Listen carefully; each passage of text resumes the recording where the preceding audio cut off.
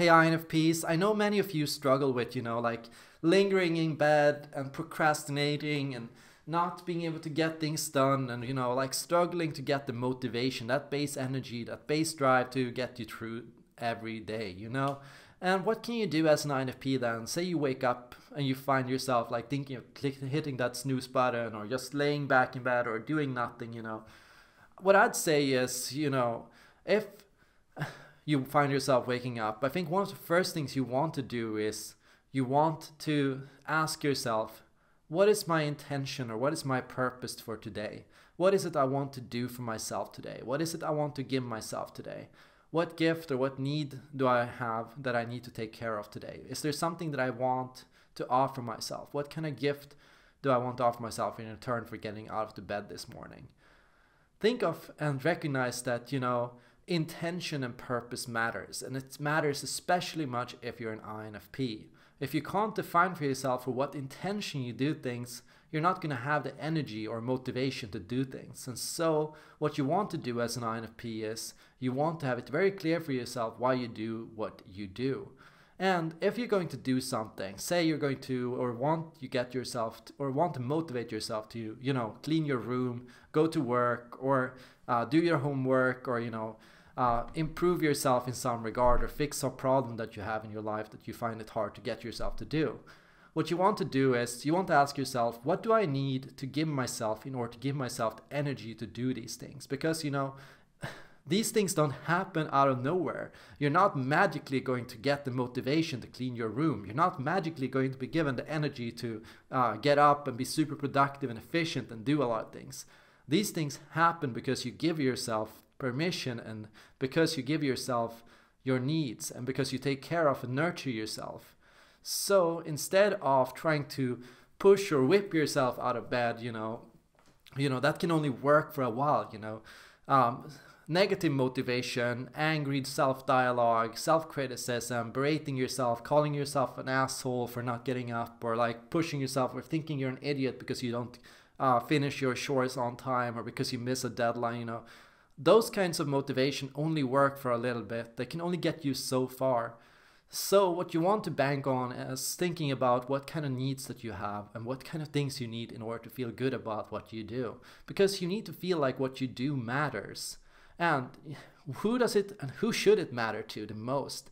You know, while we're taught to be selfless and to only do things for other people and to only do things for the world and to never be selfish, you know, being selfish has a purpose and you can give a lot more if you take care of yourself. So think of every day you get up in the morning, think of one thing you want to give yourself. That means, for example, I want to get out of bed in the morning because I want to go out and enjoy the sunlight, or I want to spend time in nature today.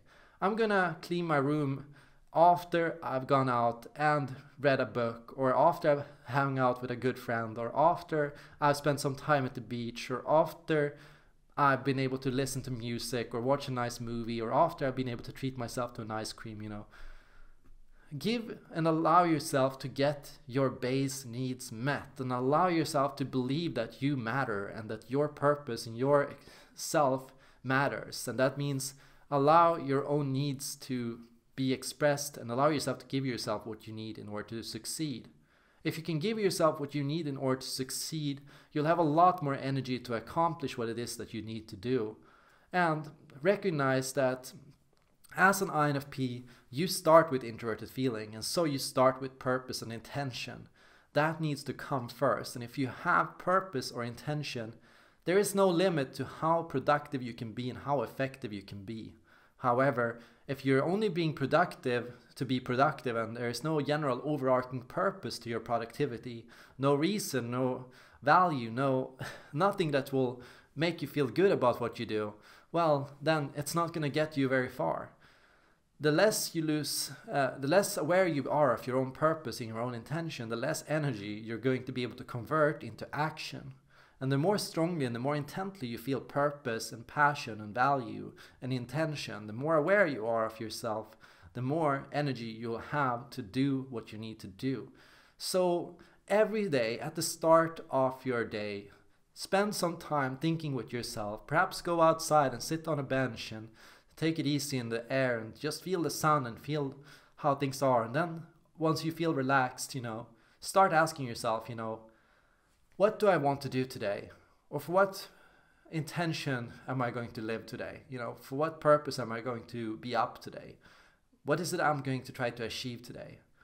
And make sure here that you don't overwhelm yourself. You're not going to do your taxes, clean your room, and do all your dishes, and call your parents, and you know, do your homework all in one go. You know, just decide on one thing that you're going to do. So just decide on one thing. Avoid overwhelming yourself by pushing too much on yourself. So many INFPs they ramp up a credit debt on their inferior function, and so they feel constantly overwhelmed by this function. They constantly feel in their extroverted thinking that oh, I should be doing extroverted thinking, and I should be doing so much extroverted thinking.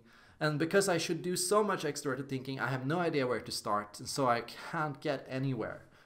Um, so uh, practice, you know, thinking and finding one thing to do, just one small thing, and it can be something really simple, like you know, making your bed in the morning, or just uh, you know, like uh, doing some of the dishes, or like. Uh, uh, for example, uh, doing some vacuum cleaning, and maybe another day you can do like mopping the floor. You know, the the thing is, you know, just get yourself going. Just find some purpose and some intention to why you do things, and beyond that, celebrate the things that you do. Because, you know, sometimes we feel like, oh, no matter what we do, it's never enough. You know, we're never allowed to feel good about what we do or how much we do. Like, it's never enough. So, like, yeah, okay, sure, I vacuumed, but I should have mopped the floor as well, and I should have done the dishes as well. And yeah, sure, I paid my taxes, but I should have also uh, made sure that I paid, paid my bills on time. You know, I should have done this or more, and I should have done it better, you know.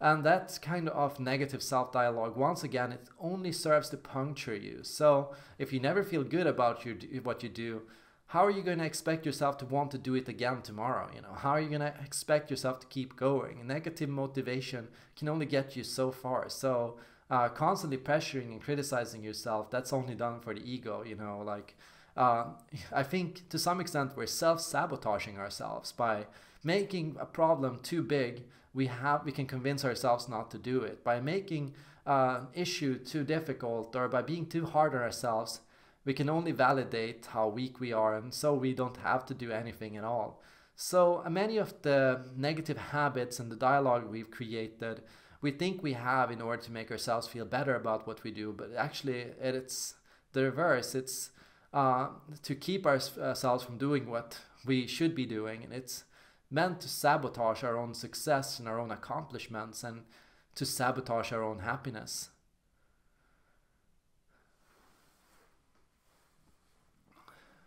So INFP, what for what reason are you going to live today? You know, for what purpose are you going to achieve today or if the day is almost over for what reason are you going to get out of the bed tomorrow? Like why are you going to do what you do tomorrow? Like tell me in the comments down below for what purpose or intention are you going to do what you do tomorrow? Thank you so much for watching and see you all in the next video